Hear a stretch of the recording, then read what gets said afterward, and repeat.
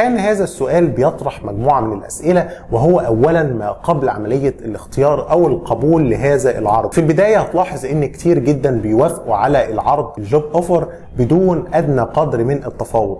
وده الحقيقة مفهوم ومقبول نوعا ما في حالة إن حضرتك حديث التخرج حتى حدثاء التخرج إحنا الحقيقة لا أنصح كثيرا بعملية التفاوض نظرا لإنك أنت محتاج إنك تبدأ مجالك وتبدأ خبرتك في إحدى المجالات. لكن بالنسبة لشخص خبرة في إحدى المجالات وقعد فترة كبيرة والشركات أصبحت بتتهافت عليه فمن الأسوأ من ضمن النقاط ألا تتفاوض ابدا على المرتب وأن تقبل بهذا العرض بدون أي مناقشة. الحقيقة إن الشركات عاده بتعطي المرتب أو ال job offer كبداية لبداية التفاوض. عاده بيفترضوا إن حضرتك أو حضرتك هتقوم بعملية التفاوض على هذا الأجر لكن لما حضرتك بتقبل بيه بشكل فوري فبيتم طبعا بيبقوا أسعد ناس ال HR أو إدارة الموارد البشرية نظرا لإن الحصول على موافقة على التفاوض على المرتب بتحتاج العديد من الإجراءات وأنا عاوز أخلص عملية التعيين فبيوافق عليك فورا. ولذلك من المهم جدا إنك تعرف إن فكرة التفاوض على المرتب من البداية